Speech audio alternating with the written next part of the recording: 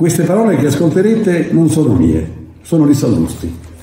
Sallusti eh, ha fatto il bel libro con Palavara, è un uomo misurato, ma questa volta dice le cose più giuste possibili perché occorre che se uno propone una cosa, la si possa valutare anche noi, a chi la fa l'aspetti. Quindi cosa propone? Propone tale un ragazzo che sembra mio figlio di Battista, dice quando si va in televisione occorre mettere, oltre che la codifica, anche le condanne che uno ha avuto. Bene, le condanne che uno ha avuto, le condanne. Quindi io che sono stato spesso condannato per diffamazione, per tutte le condanne che ho avuto, forse non potrei andare in televisione perché avrei una lunghissima fila di condanne, di cui peraltro non mi vergogno, sono convinto che siano sentenze sbagliate, come tante sentenze di Gratteri, il quale oggi è sulla, sulla bocca di tutti per aver fatto la prefazione a un libro Novax. Ma lasciamo perdere Gratteri, ne parleremo un'altra volta. Sentite le parole di Sallusti. Scrive ieri sul suo Facebook Alessandro Di Battista, cittadino nulla facente in attesa di rientrare in politica.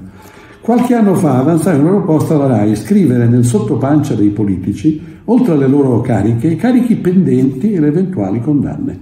Esempio, stasera abbiamo ospite Roberto Formigoni, ex presidente della Regione Lombardia, condannato a 10 anni e 5 mesi per corruzione. Logico, no? un completamento del servizio pubblico. Questo dice Di Battista, con quella faccia che ha la faccia da Di Battista. E la stessa frase Di Battista vorrebbe anche applicarla ai giornalisti, perché il castigo etico deve valere per tutti. Scrive, citando il caso del direttore condannato a 14 mesi e messo ad arresti domiciliari nel 2012. È vero che gli arresti domiciliari furono per lui una pena peggiore del carcere perché stava agli arresti con la Sant'Anché quindi scappò di casa pur di essere messo in carcere e non essere sottoposto al regime Sant'Anché.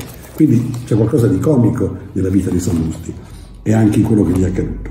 Vorrei ricordare di Battista, gli dice però Sallusti, che nel mio caso il sottopancia dovrebbe essere invece Alessandro Sallusti, direttore del giornale e vittima di mala giustizia, perché quella vergognosa condanna, quindi per quello che ha detto, per il suo pensiero, pensate quante cose ha detto Grillo, quante persone ha offeso, chiamando Berlusconi psiconano, chiamando Veronesi cancronesi, chiamando Morfeo napolitano, insultando chiunque, mandando a fare in culo tutti. Quindi, chiaro che la condanna per diffamazione è una condanna che sembrerebbe limitare la libertà di pensiero, ma nel caso specifico tanto è che la condanna subita è stata prima annullata dal Presidente della Repubblica in quanto manifestamente infondata e lui se la cavò con una semplice multa e poi sanzionata dalla Corte europea che ha costretto lo Stato italiano a risarcirmi per ingiusta detenzione. Quindi a questo punto è chiaro che la sentenza finale non è una condanna, ma è anzi lo Stato che deve ripagare quello che ha ingiustamente condannato. Ma non voglio fare un caso personale, anzi rilancio. Ok al sottopancia gogna. Per esempio, quando in televisione appare il leader di Di Battista, Beppe Grillo, una scritta deve avvisare fondatore del Movimento 5 Stelle, condannato per triplice omicidio, padre di un figlio rinviato a giudizio per stupro per un'azione contro una ragazza fatta a casa del padre con la madre nella stanza a fianco metterei questo dettaglio perché è giusto anche che si sappia cosa fanno i parenti più stretti.